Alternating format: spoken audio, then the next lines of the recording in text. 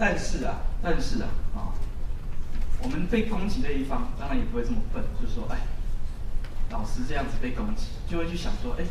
我要去怎么预防？那我们就会发现一点，如果你去像前面这个例子，啊，前面这个例子就是你去解析格式，然后哎直接植入这个动作以后，会发现一点，程式的流程回不到 Word。它只能乱到这边，然后植入，就这样子而已。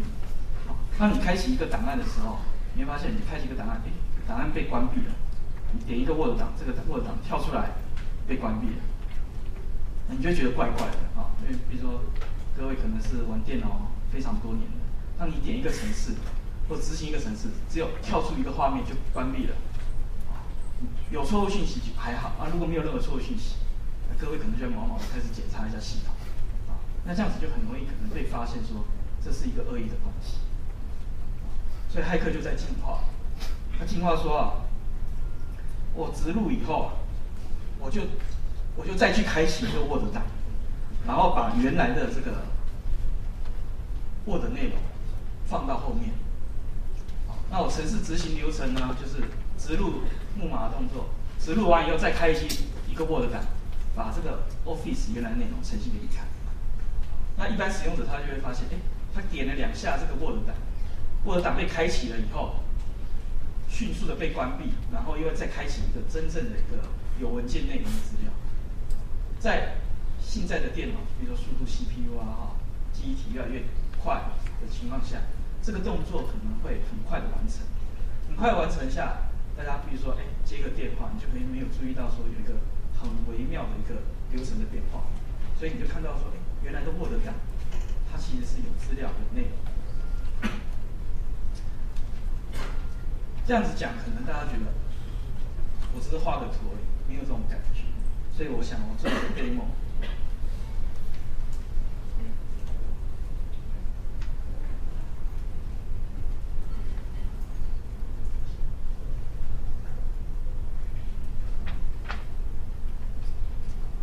因为一般可能在外面不常看到，因为你要被吸引成是一个可被攻击的对象，是有点困难啊。因为一般人是，或是大陆的骇客是不会攻击你啊，除非你是特别被锁定。所以你如果能收到这些恶意的样本，我只能说恭喜你。我现在点两下，这是一个恶意的文件，大家仔细看，问我是不是要继续开启？哎，被关闭了。他现在做植入的动作，然后现在开启一个正常的。对，你开启一个 Word 档，为什么它会被关闭，然后又再开启一次？你只有点一次执行的动作。那现在这个动作就是说，好，就是照我刚刚的流程，它开启一个恶意的文件，这个文件它已经做完植入的动作。啊，因为我的我是用 VM 电脑比较慢一点，所以你可以感觉到这个差异，说，哎，Word 档执行了一次，被关闭，后来现在这个 Word 档是执行第二次。就给你看一个真正的，他叫吕秀吕秀莲的简历，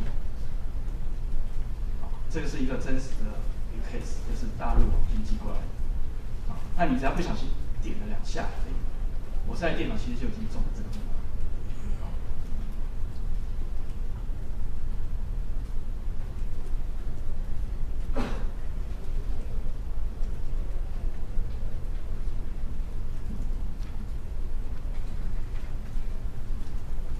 当然有人会说啊，这个防毒软体难道一点用处都没有吗？啊，这个其实不用我，大家都心知肚明，啊？那为什么会这样子呢？因为防毒软体啊，它没有把恶意文件当做是文件去做，它把恶意文件当做是恶意程式在做。啊，那什么意思呢？就是防毒软体都是用来扫说木马、病毒这种可执行档的部分。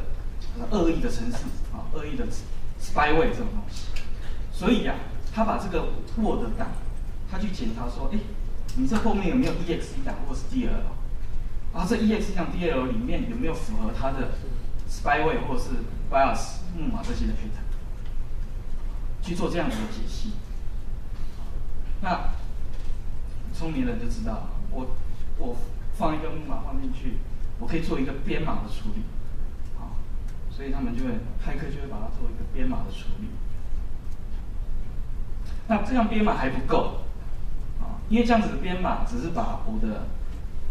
spyware 或者是我的木马做一个编码的一个处理，这样子当然可以躲过防毒软体。可是防毒软体还会去追踪所谓的恶意程式变段，比如说 shellcode 的部分，因为 shellcode 的部分其实它有一些重要的一些特征，啊，这些特征有可能会被防毒软体在一些所谓号称智慧型的这个扫毒的什么引擎之类的啊，那很多你知道防毒软体很多噱头，所以他就可能去侦测这些动作。那 SQL 你要做的事情越多，比如说你要做植入啊，你要做重新开启一个 Word 档。这些动作虽然我们今天就讲哎两个动作而已，实际上这 SQL 要写很长，那写很长的情况下，程式码越长就容易越被侦测，所以他们把 SQL 也做了所谓的编码处理。那整个整个解码的部分就只有非常一小段 code，可能只有十几 byte，那在这个十几 byte 的情况下，防毒软体就搞不清楚它到底是程式还是资料，那它也没有所谓的程式的记录点。防毒软体也不知道它到底从哪里开始执行，啊，城市资料都不清楚，就是城市，就是防毒软体不知道哪里是城市，哪里是资料，它也没有办法找到进入点的情况下，他就没办法去解析 decode，它也不知道这个 decode 到底是好的还是坏的，就也不是说好的，就是他也不知道这个 decode 到底是资料呢，还是真正可以执行的，啊，它没办法去侦测，没办法侦测，后面的东西又被编码加密过。了。所以防毒软体绝对失效，啊，各位保保证失效，啊，所以为什么说这个恶意攻击这么有效也是这样？那除此之外，我们说除了利用编码技术知道，这些这些 spyware 或是些木马，其实它可以做过所谓的我们说铲测啊，铲测，就是当你开发出一个后门或者是木马啊，或者是 worm 这些工具的时候，他们其实都经过铲测。啊他们经过十几家，什么卡巴斯基啊、小红伞啊、哈，这个趋势啊、Norton 啊这些东西，全部检查过，说哎，没有一家扫得出来，他们才会放到所谓的攻击的里面，啊，才可以做一个有效的攻击。